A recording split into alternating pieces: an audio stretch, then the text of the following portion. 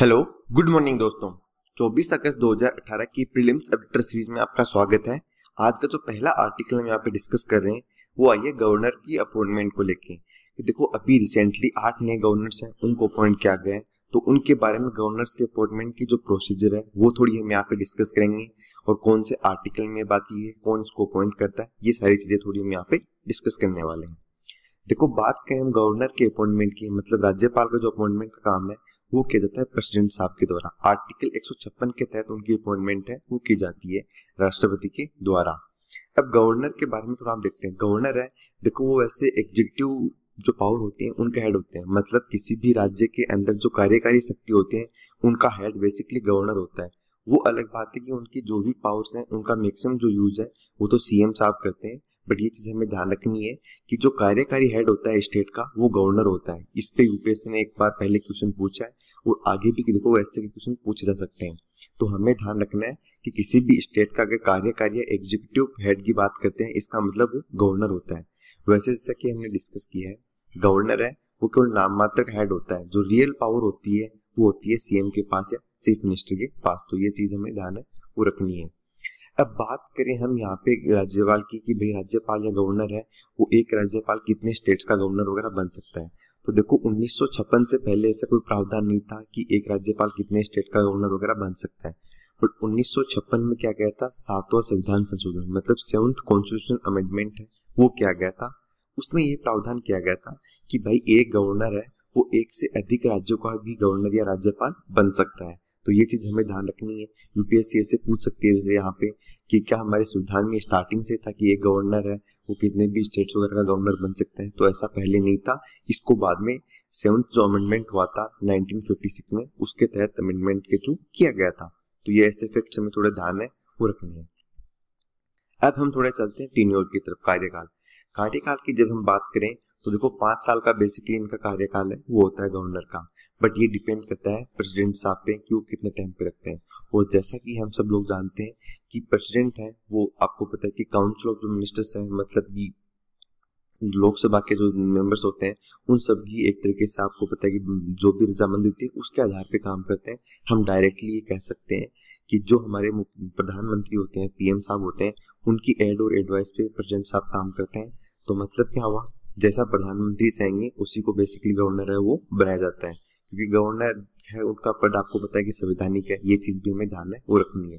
क्योंकि गवर्नर का जो पद है, उसका प्रावधान कॉन्स्टिट्यूशन में किया गया है तो इसलिए संवैधानिक हो जाता है तो ये फैक्ट भी थोड़ा हमें ध्यान में रखना है।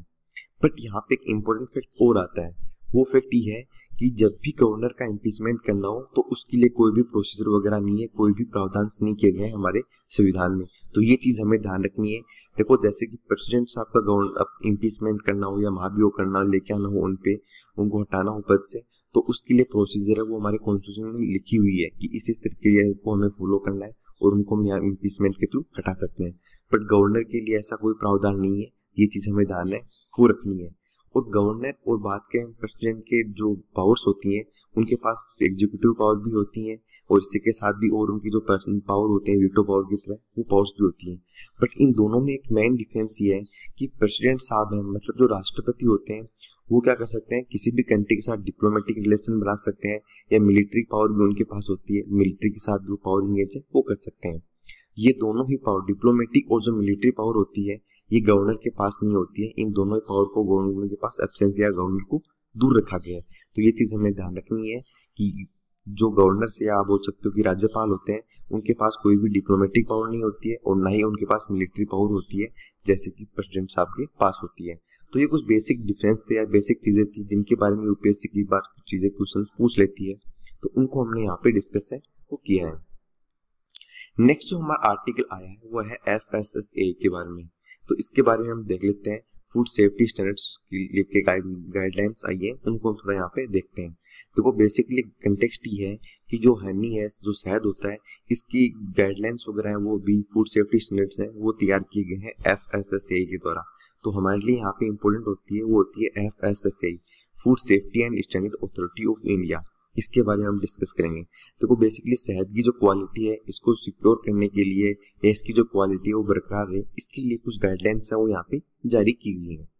अब हम देखते हैं food safety and standard authority of India जो कि है एफ़ देखो, ये बेसिकली एक, हम कह सकते हैं कि ऑटोनोमस और इसी के साथ मतलब स्टेचुरी बॉडी है, ये चीज़ हमें ध्यान रखनी है, क्योंकि इसे पार्लियामेंट का एक्ट है वो है food safety and standard act 2006 इस एक्ट के तहत बनाया गया था। तो ये चीज़ एक इम्पोर्टेंट फैक्ट बन जाता है। मिनिस्ट्री कौन से मिनिस्ट्री है हेल्थ एंड फैमिली वेलफेयर। तो ये चीज़ ध्यान रखनी है कि ऑटोनोमस बॉडी है, जो कि आती है ministry of health and family welfare में।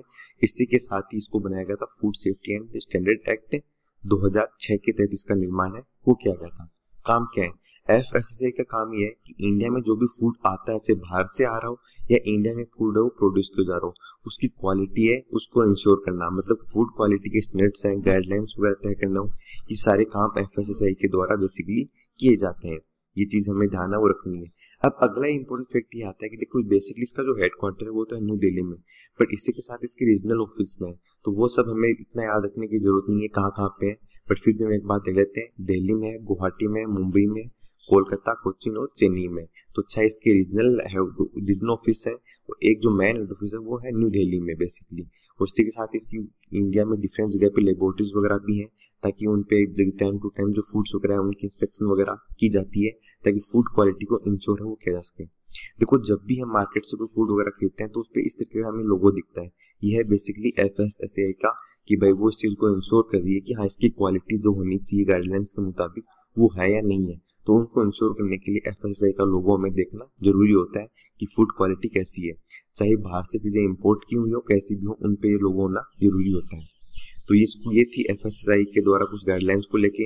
अब देखो, जो सेहत के लिए जो गाइडलाइन जारी की है, वो इतनी कुछ इंपॉर्टेंट है नहीं हमारे लिए, क्योंकि हम प्रॉपर उस चीज़ पे क्वेश्चन यूपीएससी नहीं पूछेगी। बट जो फैक्ट्स होते हैं एफ़ के बारे में, वो हमने यहाँ पे डिस्कस है, वो किए हैं। नेक्स्ट हमारा जो आर्टिकल आया है, वह है ट्राइफेड के बारे में। तो इसके बारे में हम देख लेते हैं कि ट्राइफेड है क्या। ट्राइफेड का मतलब है tribal cooperative marketing development federation of India limited तो इसके बारे में दो तीन फैक्ट्स यहाँ पे इंपॉर्टेंट हो जाते हैं। सबसे पहले तो हम ये देखते हैं कि भाई ट्राइफेड का काम है क्या। ट्राइफेड का काम देखो, बात यह है एक अपेक्स बॉडी है अपेक्स ऑर्गेनाइजेशन के तौर पर इसका निर्माण किया गया था 1987 में। और मिनिस्ट्री की बात करें तो आती है ट्राइबल अफेयर मिनिस्ट्री के अंतर्गत। मतलब मिनिस्ट्री ऑफ़ ट्राइबल अफेयर है, उसके अंतर्गत बेसिकली अपना काम है, वो करती है।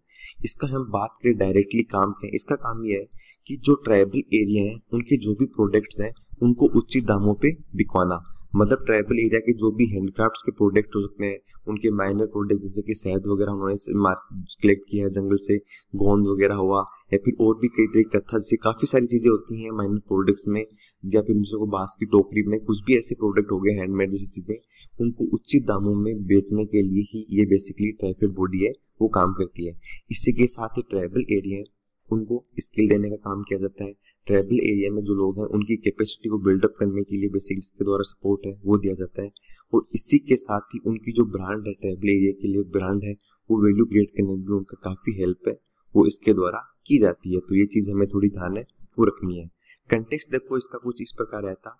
कि अभी लास्ट ईयर की बात की जा रही थी कि लास्ट ईयर का जो भी डाटा पब्लिश हुआ है, उसमें पता चला है कि ट्राइफेड ने जो ट्राइबल एरिया के प्रोडक्ट्स थे, उनको 500 गुना ज़्यादा बढ़ा दिया मतलब सेल्स उनकी बिक्री है, वो बढ़ा दी है।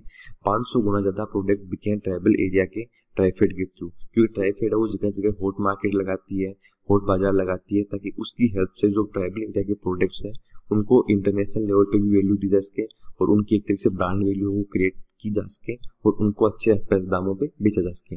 तो ये चीज़ हमें ध्यान रखनी है ट्राइफेड के बारे में। नेक्स्ट जो आर्टिकल आया है, वो है T R E D S platform के बारे में। तो ट्रेडिस जो प्लेटफॉर्म है, इसके बारे में हम डिस्कस है, वो करते हैं। कंटेक्स तो कुछ इस प्रकार है कि हिंदुस्तान एरोनॉटिकल जो लिमिटेड है, उसने अभी टेट्स प्लेटफॉर्म है, इसकी हेल्प से पहली बार एक गवर्नमेंट की ऐसी पी है, जिसने अपना प्रोक्योरमेंट वगैरह किया है। तो हम यहाँ पे देखते हैं ट्रेड्स प्लेटफॉर्म के बारे में, ये यूपीएससी पूछ सकती है। देखो, है क्या इसे हम एग्ज़ाम्पल से समझते हैं? तब हमें और अच्छा से समझ में आएगा। जैसे कि मान लो कोई भी एक पर्सन है, उसको कोई कंपनी वगैरह लगानी है एमएस में छोटा मतलब छोटा सा बिज़नेस स्टार्ट करना है तो उसको पैसे चाहिए। अब वो पैसे लेगा कहाँ से? या तो देखो बैंक जाके लेगा, या फिर उसका कोई जानकार में कहीं से भी उसको पैसे मिले वैसे ले सकता है। अगर आप सोच के देखिए कोई एक पोर्टल हो, उस पोर्टल पे वो इंसान अपनी इन्फॉर्मेशन डाल दे कि भाई मैं देखो ऐसे ऐसे बिज़नेस को स्टार्ट करना चाह रहा हूँ, ये मेरे पास चीज़ें हैं और मुझे इतना इतने पैसे की ज़रूरत है, ये आप सारा पूरा प्रोजेक्ट वगैरह साइड डिटेल वहाँ पे अपलोड कर दें। तो उसके बाद होगा क्या? जो बहुत सारे जो फाइनेंसर्स होते हैं, जिनके पास का पैसा होता है, वो यहाँ पे देखेंगे कि हाँ यार, इस आदमी को इसका आइडिया भी अच्छा है और इसकी मेथड को हम यूज़ है, वो कर सकते हैं और मतलब यहाँ पे हमें इन्वेस्टमेंट करना चाहिए। तो फिर क्या है, बहुत सारे यहाँ पे जैसे कि तीन चार वो आ गए फाइनेंसर्स पैसे देने वाले कि यार मैं भी पैसे लगा दूँ, मैं भी लगा दूँ। तो फिर वो में आपस में बीट्स स्टार्ट हो जाएगी कि देखो भाई कौन सा कम ब्याज पे इसको पैसे दे रहा है। कोई बोलेगा कि भाई मैं सात परसेंट पे आपको पैसे देने के तैयार हूँ। कोई बोलेगा, नहीं नहीं भाई आप मेरे को साढ़े पाँच पे दे दो। कोई बोलेगा, नहीं भाई आप ये प्रोजेक्ट है, ये मेरे को पाँच परसेंट पे दे दो। कोई साढ़े चार पे। मतलब ऐसे क्या है कि जो सस्ती रेट पे डिस्काउंट को मिलेगा, उसको बेसिकली जो भी यहाँ पे एमएसएमई e का मतलब जिसका आइडिया वगैरह था जिसको इम्प्लीमेंट करना था, वो उसको एक तरीके से सेल मतलब परचेज कर लेगा और उसके आधार पे फिर अपना आगे काम है, वो कर सकता है। तो इससे क्या होगा, इसको जो पैसे की ज़रूरत थी, जिस इंसान को बिज़नेस स्टार्ट करना था, उसको काफ़ी फ़ायदा यहाँ पे हो जाता है।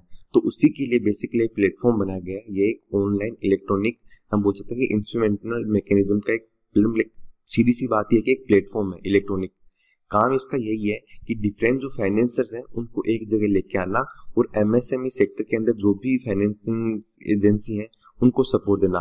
मतलब एमएसएमई सेक्टर में जिसको भी पैसे की ज़रूरत है तो वहाँ पे डिफरेंट फाइनेंसर्स इस वेबसाइट के थ्रू उनको पैसा डिस्ट्रीब्यूट है, वो बेसिकली करते हैं। क्योंकि यहाँ पे मल्टीपल फाइनेंसर्स अवेलेबल रहते हैं तो वो क्या करते हैं इलेक्ट्रॉनिक इंस्ट्रूमेशनल इलेक्ट्रॉनिक जो इंस्ट्रूमेशनल जो मैकेनिज्म है, उसकी हेल्प से पैसा यहाँ पे इन्वेस्ट है, वो करते हैं।